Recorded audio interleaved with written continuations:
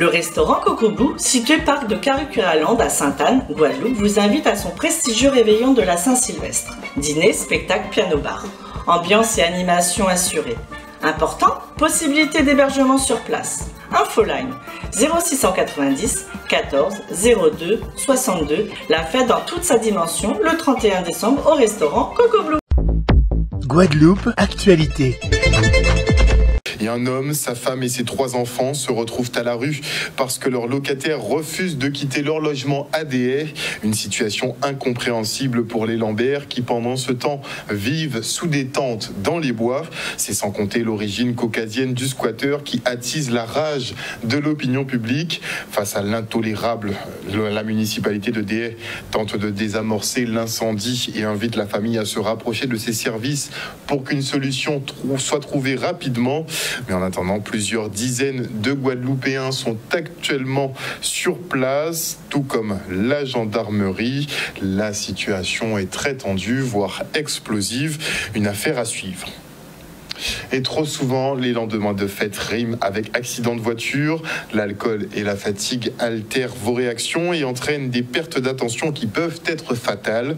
Alors resterez-vous en sécurité chez vous ou prendrez-vous la route sans crainte? Les réponses dans ce micro-trottoir.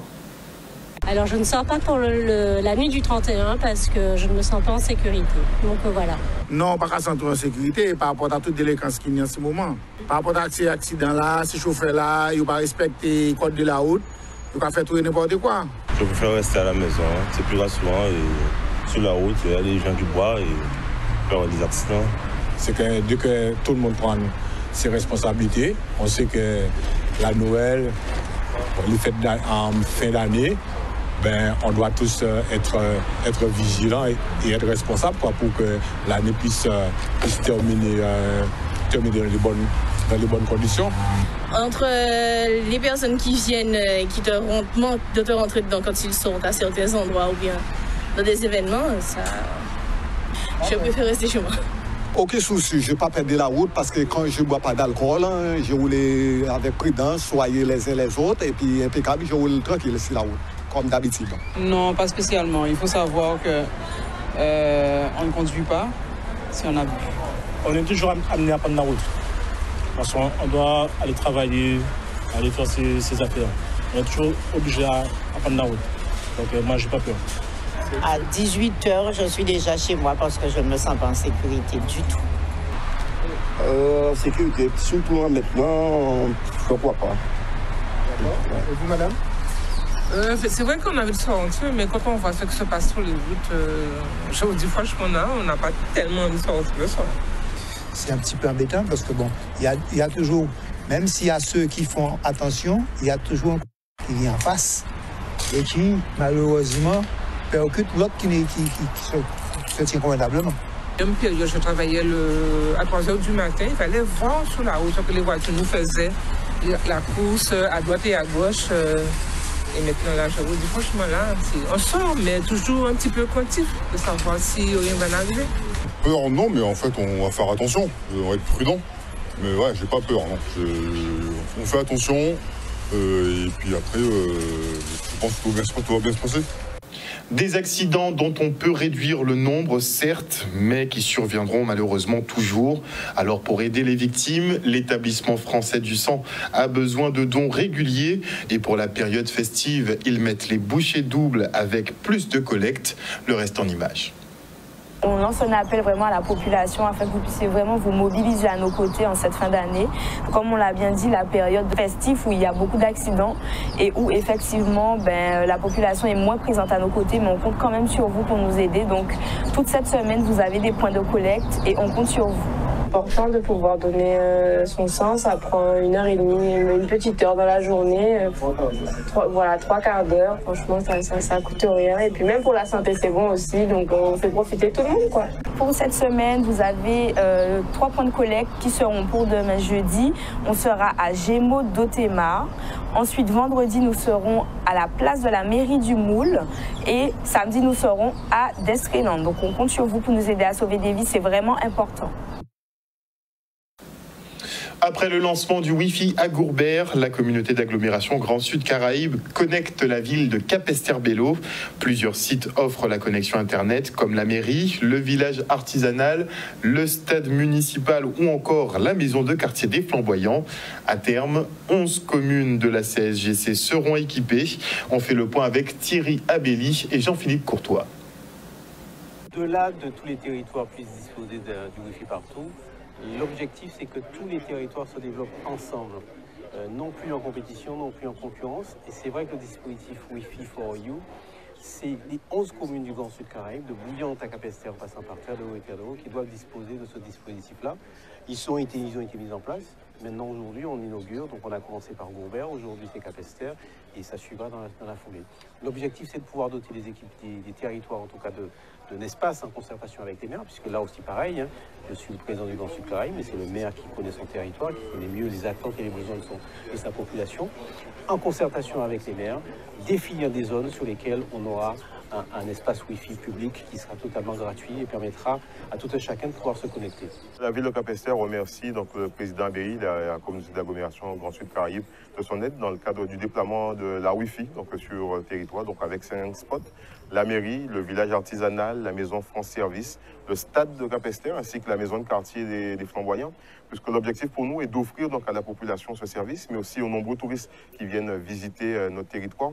Mais ça rentre dans le cadre d'un projet global de faire de Capesterre-Bello une ville connectée puisque nous avons donc déjà agi en faisant en sorte que 100% de nos écoles donc, euh, disposent de matériel informatique. L'installation de la fibre optique sur l'ensemble du territoire pour pouvoir offrir à la population donc, euh, Internet à haut débit et aussi de qualité. Et maintenant, avec euh, la Wi-Fi, nous finalisons donc, le panel pour que toute la population puisse maintenant jouir d'une connexion de qualité. La ville de Petitbourg, elle, accueille une dizaine de jeunes en contrat civique, une expérience professionnelle porteuse pour l'avenir. Regardez c'est une étape supplémentaire pour, pour la jeunesse qui est, qui est volontaire.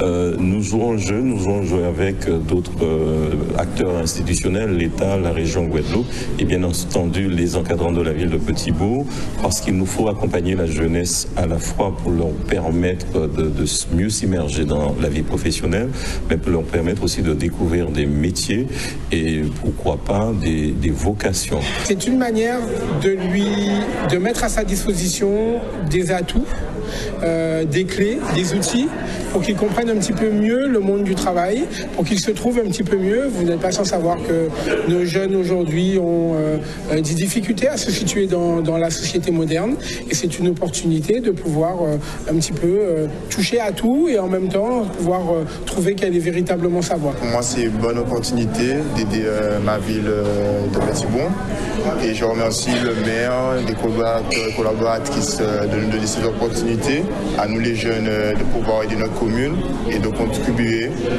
Et surtout, euh, c'est une bonne expérience pour nous en tout cas. Pour certains d'entre eux, c'est l'occasion euh, de découvrir le monde du travail.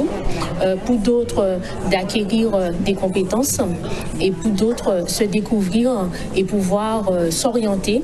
Et pourquoi pas par la suite ben, rester dans les différents services aussi de la ville, puisque nous proposons aussi ben, des contrats, parfois des opportunités sur les contrats en alternance, les contrats d'apprentissage et pourquoi pas sur les offres d'emploi euh, qui sont disponibles euh, au niveau de la ville. C'est un parcours intéressant. Nous, ça nous permet aussi de développer une qualité de nos services publics parce que pendant huit mois, ils sont au service de la population de Petit-Bourg et eux, ça leur permet d'avoir une expérience et puis un désir d'apprentissage, un désir de formation, un désir de s'améliorer, de s'intégrer à la société euh, guadeloupéenne. Et on part maintenant pour l'exposition de Monique Étienne. Cette passionnée de peinture rend hommage à l'arbre, source de vie, mais aussi d'inspiration. Pour l'enseignante retraitée, ces êtres vivants sont littéralement des œuvres d'art. Regardez. Mon enfance, je l'ai euh, vécue à la campagne et les rapports à l'arbre étaient familiers. À la campagne, l'arbre avait un rôle extrêmement extrêmement important. Quand on commence euh, la, journée, par exemple, on va vers le petit café. Qui offre le café C'est encore l'arbre.